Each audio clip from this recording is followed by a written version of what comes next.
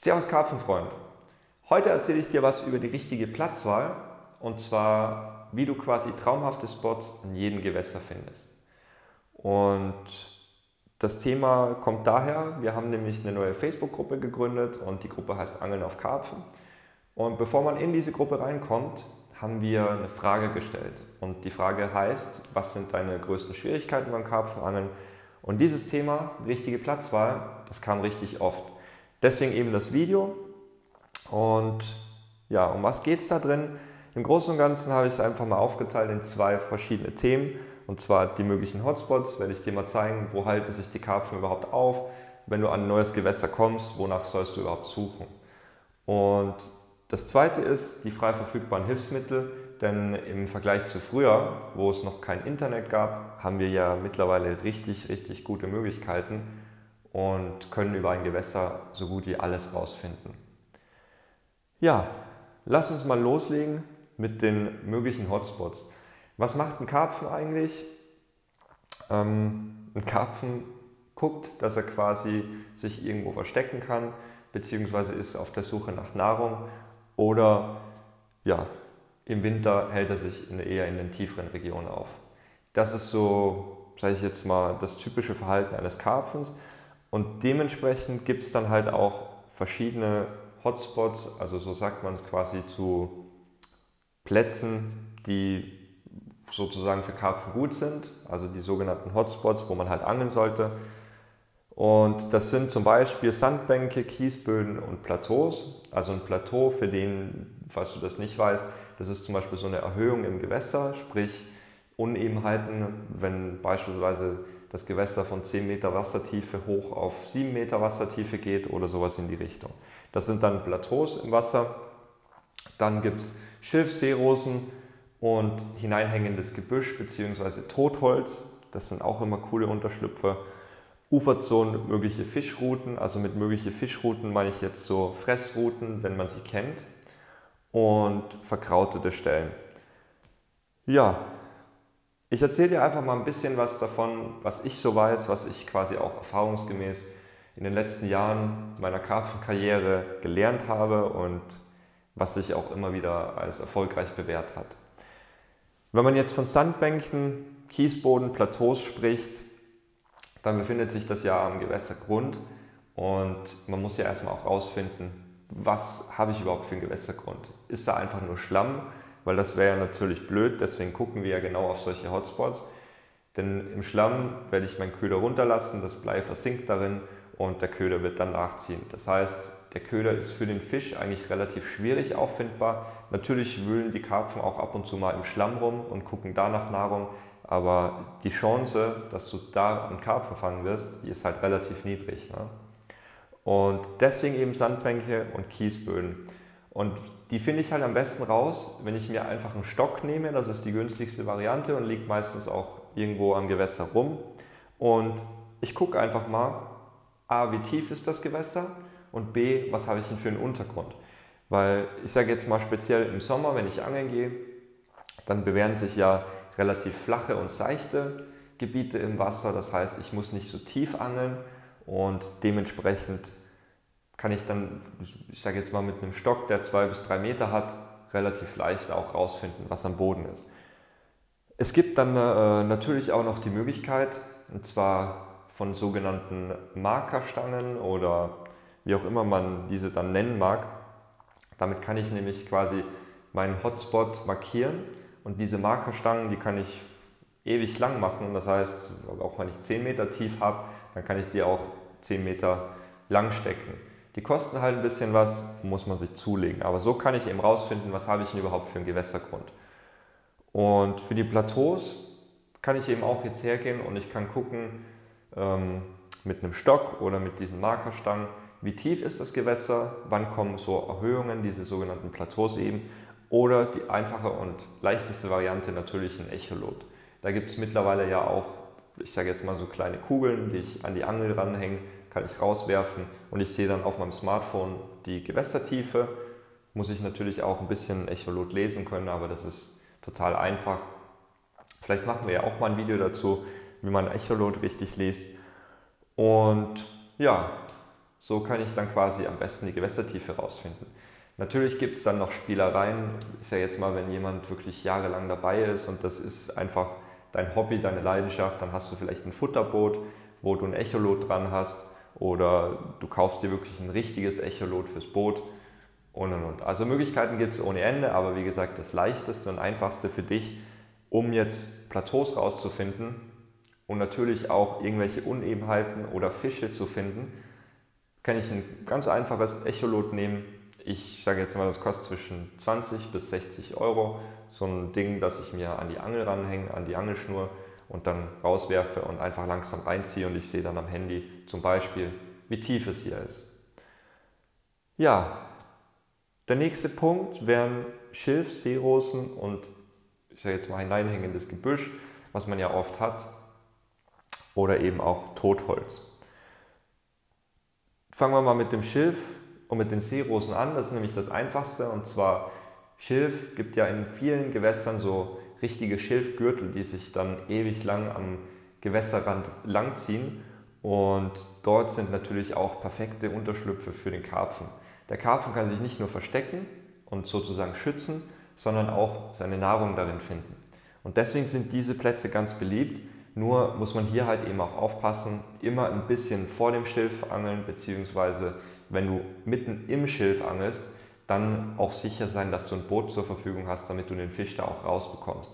Ansonsten ist es relativ schwierig. Der Fisch wird sich ziemlich schnell, wenn er den Köder eingesaugt hat, im Schilf verwickeln und du kriegst den Fisch nie wieder raus. Dasselbe gilt natürlich auch für Seerosen. Bei Seerosen genau dasselbe. Die Fische versuchen sich hier zu verstecken, speziell wenn es größere Seerosenfelder sind und finden da drin wieder Nahrung. Da kannst du natürlich auch in das Seerosenfeld reinfischen. Bei den Seerosen ist es halt extrem schwierig, den Fisch dann auch rauszubekommen, wenn der mal da drin steckt. Deswegen immer ein Stück weit vorher. Ein Stück weit heißt für mich ein bis zwei Meter Abstand einfach von dem Seerosenfeld halten. Und dann lieber ein bisschen was füttern, sodass die Fische auch sehen, ah, hier liegt Futter. Und die suchen dann natürlich auch, weil wenn ein Fisch einmal Futter gefunden hat, dann bleibt er nicht nur an dieser Stelle stehen, sondern er sucht dann so den ganzen Umkreis ein bisschen ab. Deswegen eben Seerosen und Schilf. Ja, dann Gebüsch oder Totholz. Hier geht es eigentlich speziell darum, der Fisch kann sich extrem gut darin verstecken und auch schützen. Das heißt, er fühlt sich da drin sicher und du kannst da auch perfekt einen Platz anfüttern, also sprich ein bisschen Futter verteilen davor wieder und dahin angeln. Also wenn du irgendwo einen Baum siehst, der reingefallen ist ins Wasser, da drin liegt, dann guck dir das Ganze mal an, guck mal, wie tief das ist, schau mal, wie viel Platz du da drum hast und ob du da überhaupt dran angeln kannst. Weil kann ja auch sein, dass dein Platz irgendwie wo ist, wo du gar nicht so leicht rankommst und dann ist es unmöglich. Ne? Aber auch hier ganz wichtig, und es ist schon so oft passiert, ähm, speziell bei Totholz und dem Gebüsch, unbedingt ein bisschen Abstand halten. Wenn du keinen Abstand hältst, der Fisch, der rast rein und der kommt nie wieder raus. Und nur mit Glück kriegst du den Fisch dann auch davon weg.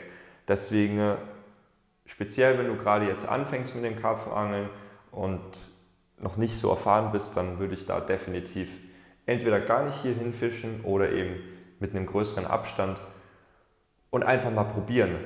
Und dann siehst du ja, wie es läuft. Hier auch vielleicht der Tipp, die Bremse etwas weiter zumachen. Das heißt, dass die Schnur relativ schwer abziehbar ist, aber immer noch, dass sie weggeht, weil ansonsten fährt der Fisch direkt in die Schnur rein und die Schnur wird reißen. Das ist nämlich auch so ein Effekt, kannst du gerne mal probieren.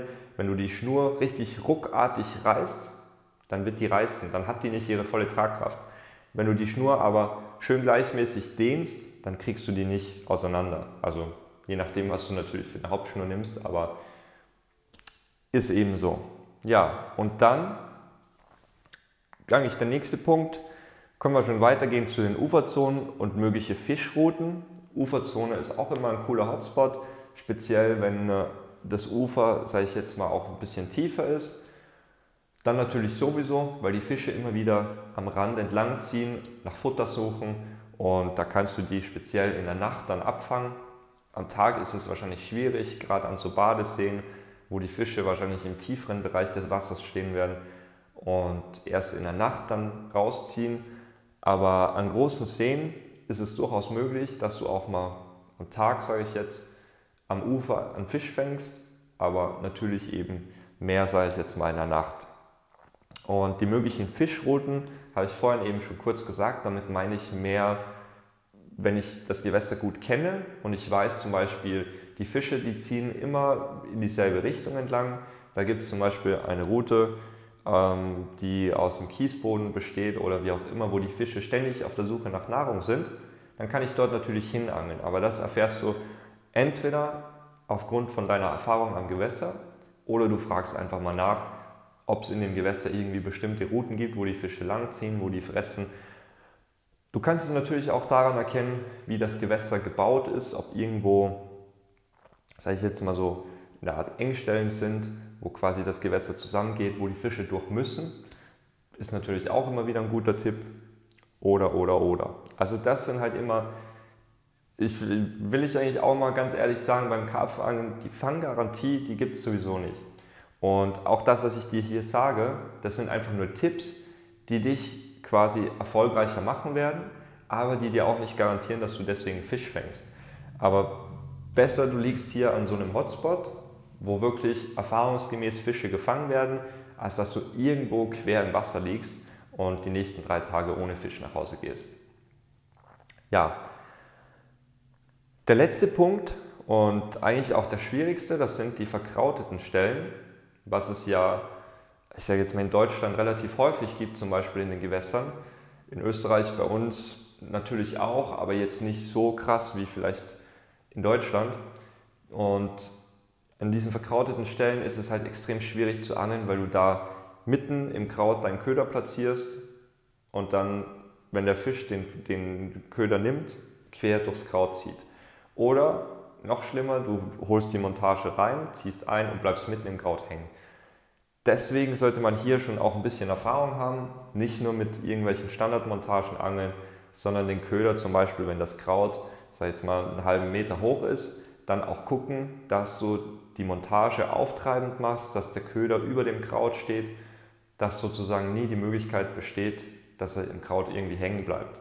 Natürlich kannst du auch gucken, ob zwischen den Krautfeldern je nachdem wie es aufgebaut ist und wie gut dass es natürlich auch erkennbar ist, ob da irgendwelche freien Flächen sind, wo zum Beispiel wieder ein Kiesboden ist oder eine kleine Sandbank oder sowas in die Richtung und da deinen Köder platzieren.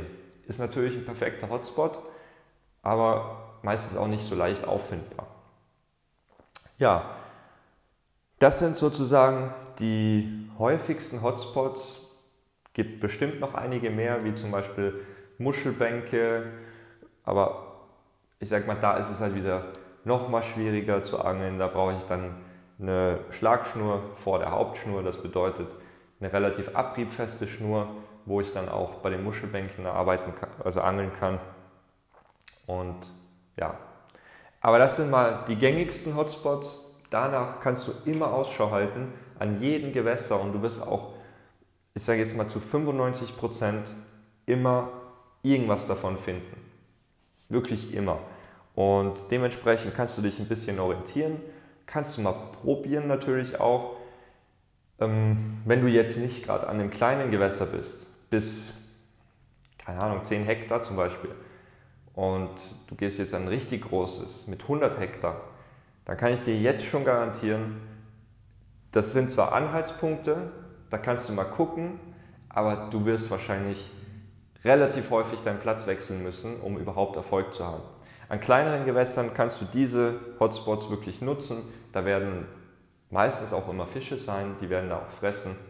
Und somit kannst du natürlich auch erfolgreich angeln. Ja, was gibt es noch? Die frei verfügbaren Hilfsmittel. Bei den frei verfügbaren Hilfsmitteln, das ist genau das, was ich vorhin meinte. Wir haben das Glück die, heutzutage, dass es das Internet gibt, dass wir uns erkundigen können und nicht mehr einfach frei ans Gewässer fahren müssen oder anrufen oder sonstiges, ist es relativ einfach an die Informationen zu kommen. Die meisten äh, Gewässer haben eine eigene Webseite, speziell wenn es um so Pay Lakes geht. Die haben sowieso meistens eine Webseite, wo alles extrem gut erklärt ist. Bei den größeren Seen oder Flüssen, da ist es wieder ein bisschen schwieriger, auch wenn es dann ins Ausland geht. Auch meistens schwierig, weil die Webseiten nicht auf Deutsch übersetzt sind, aber lässt sich ja auch mittlerweile gut mit Google übersetzen. Und das ist eigentlich immer so der erste Anhaltspunkt, den ich wähle und den ich auch nutze, dass ich mir mal angucke, gibt es eine Website. Auf der Webseite wichtige Dinge sind zum Beispiel eine Gewässerkarte, vielleicht auch die Gewässertiefe. Also in der Gewässerkarte, sage ich jetzt mal, wäre cool, wenn eingezeichnet sind die Plätze, die Tiefe. Dann kannst du dir schon mal ein richtig gutes Bild über das Gewässer machen. Vielleicht gibt es sogar eine Satellitenkarte. Ist ja auch immer so ein Ding. Klar, nächster Punkt ist dann Google Maps, werde ich dir noch ein bisschen was zu sagen. Aber wäre natürlich auch cool, also wenn du quasi realistische Bilder davon hast. Und natürlich auch die Gewässerregeln. Das ist ganz wichtig. Halt dich an die Gewässerregeln und guck, dass du nicht irgendwelche, zum Beispiel wenn Schonhaken Pflicht sind, dann verwende auch Schonhaken und nicht irgendwelche anderen, auch mit keinem Mikro-Widerhaken oder sonst irgendwas, sondern wirklich an die Gewässerregeln halten, weil ansonsten wirst du relativ schnell vom Gewässer wahrscheinlich entfernt werden. Ja, also mal gucken, vielleicht findest du sogar Fischbilder, vielleicht findest du sogar aktuelle Rekorde von dem Gewässer und und und. Also es lässt sich relativ viel rausfinden, einfach mal nach der Webseite suchen. Der nächste Punkt, Google Maps. Bei Google Maps ist es jetzt so, ich gucke mir das Gewässer, wenn ich jetzt irgendwo hinfahre, wo ich noch nie war, erstmal über Google Maps an und schalte dann links unten auf dieses Symbol, da kann man Satellit auswählen.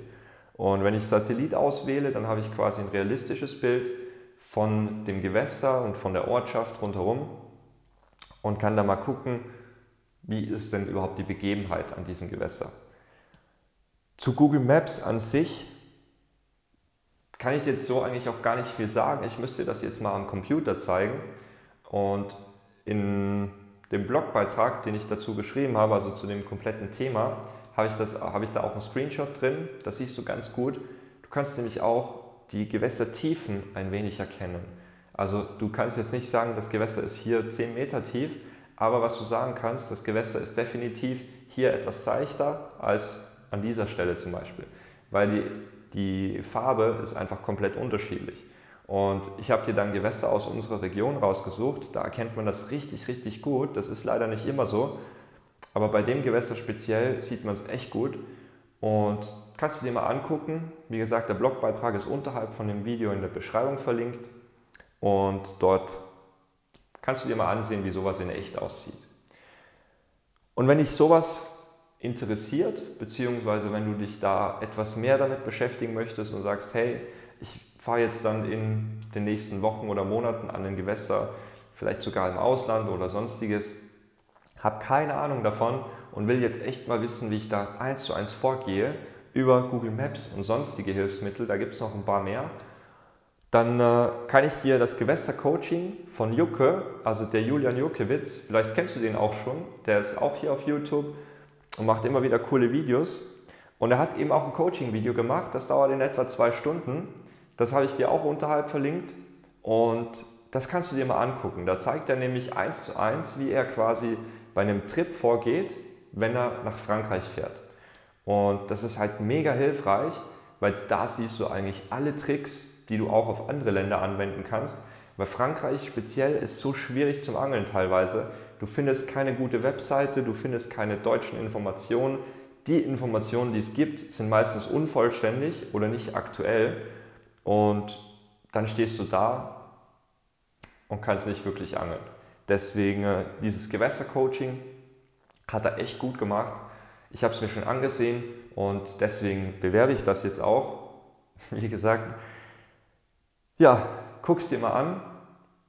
Link ist unterhalb in der Beschreibung und da ist, denke ich mal, alles nochmal wirklich konkret erklärt. Da solltest du dich auch auskennen und dann bist du auch demnächst erfolgreich an deinem Gewässer. Ansonsten, wenn du noch Fragen hast zu dem ganzen Thema, schreib es mir in die Kommentare rein. Würde mich freuen natürlich auch, wenn du mir Feedback gibst. Vielleicht habe ich ja auch einen ganz wichtigen Punkt vergessen, kann ja auch immer wieder sein. Oder du hast noch einen Tipp hinzuzufügen. Gerne, du hilfst natürlich damit auch den anderen. Ansonsten einen Daumen hoch, wenn dir das Video gefallen hat und abonniere den Kanal, falls du es noch nicht gemacht hast. Wir werden in Zukunft, wie gesagt, alle Themen, die in unserer Facebook-Gruppe angesprochen werden, auch per Video behandeln.